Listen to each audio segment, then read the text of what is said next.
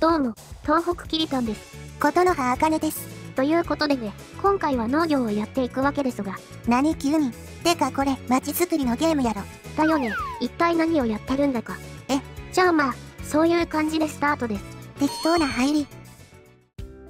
はい、前回までで教育施設と、通うための交通機関を充実させました。充実というか、教育には大きな費用が必要なのでね、町へ入る人たちの協力を得て、資金調達してますね。強制徴収を協力というならそうやな。割引された駐車料金に大喜びで、満員になるほど利用されてます。こんな料金でもちゃんと使うんよな。おかげさまで、収支は黒字になってます。ふむ、まあでもそこまで黒字でもないのか。維持費が大きいからね。ああ、アホほど長い線路とかな。これについては、元の路線の値段上げるだけでよかったな、と思ったり。ああ、確かに。ま、観光名所ということで。そう。ま、学校に通う生徒増えてるし、今後の発展には期待できそうです。教育すれば色々ええんやったが。うん、区画がレベルアップとかして、色々良くなる感じで。なるほど。そういう感じで、発展していく準備はできてきたんだけど。うん？ここの、輸入した電気という項目、電力足りてへんようやな。そこなんだけどね。電力需要が103に対して、生産してるのが94。いつの間にか増えてる。とりあえず電力足りてへんな。うん、10ほど足りてないけど、輸入してるのは31メガワットなんだよね。不足は10やのにこう、風力発電とか結構作ったんだけどね。おう、この辺は高い場所だからね、風力が最大限活かせるけど、けど足りてへんな。一つずつの発電量少ないのか。それもあるけど、よく見ると電流流れてないでしょ。そういやそうやな。なんか、電線に制限があるようで、こう、どんどん作っても。こんな感じで、電流が流れずに無駄になっちゃう。そうなんや。普通の電線は80メガワットまで。ふむふむ。でも、道路は40メガワットまでしか流せないので、あ、結構な制限やな。だね、こうなると無駄になるので。変電所と高圧電線でつなぐ必要があるみたい。あ、ここでこれか。ただこれは、道路からの電流と高圧電線をつなぐ感じだから、結局40メガワット以上は無駄になるような。んこれと風力は直接つなげへんのか。うん、まあ一応やってみるけど、おう、とりあえず、高圧電線で向こうの町までつないで、この辺は普通の電線でつないではいるんやな。うん、電車でもつながってるけど、あ、線路も電流つながるようになってるんやね。うん、とりあえずこれで、あ、まだか。んちゃんと外部との電線につながないと。よし、流れ出した。お輸入してる分がかなり減った。そうやな。まだあるけど。グダグダと調整してるうちに都市が発展したみたいだね。そうか。これで合ってるかわからないけど、こう、変電所の前後に電線つなぐことで分割できた、と思うんだけどね。いろいろややこしいんやな。だね。今後の需要もあるだろうし、もう少し増やして、と。ふむ。多分これでいいかな。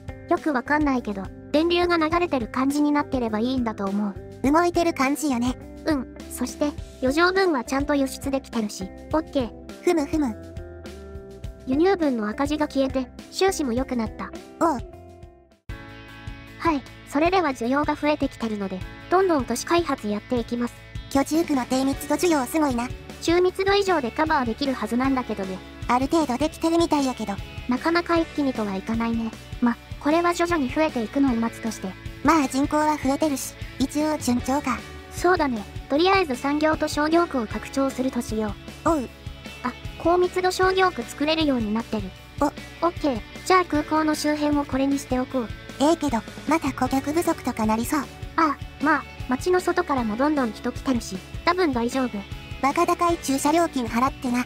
とや、おい、商業区はこれでオッケー。あとは産業区なんだけど、せっかくなので資源特区をやってみようかな。資源生産のやつね。うん。生産の項目でかなり輸入してるんだよね。ふむふむ。生産してないから当然だけどね。食料とか全部他に頼るのはちょっとあれかなということで、せやな。産業特化の項目から、お、いろいろあるな。だね、農業の種類が増えてる感じかな。ふむふむ。あとは林業とか鉱山もある感じか。うん、とりあえず今回は農業で、色がついてる部分が農業に向いてる土地うん、まあちょっと少ないかな。そうやな。ここは農業向いてないマップだったかな。他の資源か。鉱山とか石油とか、全体的に資源多くないね。そうみたいやな。自給自足やるとしたら結構厳しそう。どのくらい生産できるかわからんしな。だね。まあとりあえず、この辺でいいかな。拡大したら割と広いんかな。どうだろうね。まあとりあえず拡張して。高速道路が邪魔なので位置を変更して。ふむふむ。この辺は結構グダグダと調整してるのでカットしまして。茜が得意の小話で繋ぐという手もあるけど。やったことないのに得意とか言われても。つまり練習したい、と。なんでやねん、ちゃうわ。そう。ま、とりあえず高速経由で出入りする道路を作りまして。いつものジャンクションやな。他のやり方もあるんだろうけど、なんとなくこれで。そうか。それでは、適当に道路を引いて。適当ね。まあどんなんかわからんしちゃあないか。とりあえず農業、穀物栽培かな。ふむふむ。えっと、この円の範囲が特区になる感じかな。ふん、前はどんなんやったっけ？普通に産業区作って、エリアで特区にしてたね。なるほど。とりあえず作ってみる。おう。ん、なんか線が。ああ、これで範囲決める感じか。ふむ、ゴミ処理と同じ感じね。そして、この円の範囲内に収めないといけないのか。なるほど、そういう感じ。ま、適当に範囲を指定しまして。オッケー。お。えっと、これがもう畑になったのかな？そんな感じかね。ふむ。ただ、この感じだと、資源の範囲を十分にカバーできてなくて無駄が多いので。そうやな。ちょっと道路の引き方を変更して、資源の範囲に無駄なく入るように施設を置く。ふむふむ。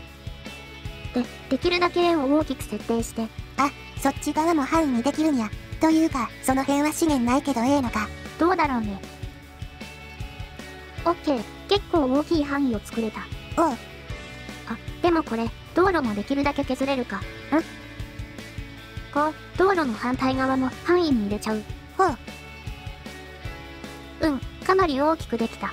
資源ない部分も結構あったけど。その辺はまあ、試しにね。そうか。じゃあそんな感じで範囲全部埋めてしまって。ふむふむ。試しに資源ほとんどないところもやってみたりして。ほとんどというか、ゼロに見える。まあ試しにね。そう。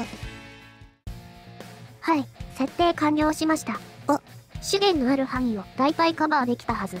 そうみたいやな。左の変なのは資源なしでもできるのかのテスト。そうか。それじゃ、とりあえず開始です。はいよ。ちなみに、2つくらいは畜産に設定してます。ふむふむ。えっと、この辺は資源が十分にあるので、効率が94%となってますね。資源ない部分もあったけどええんやな。そうみたい。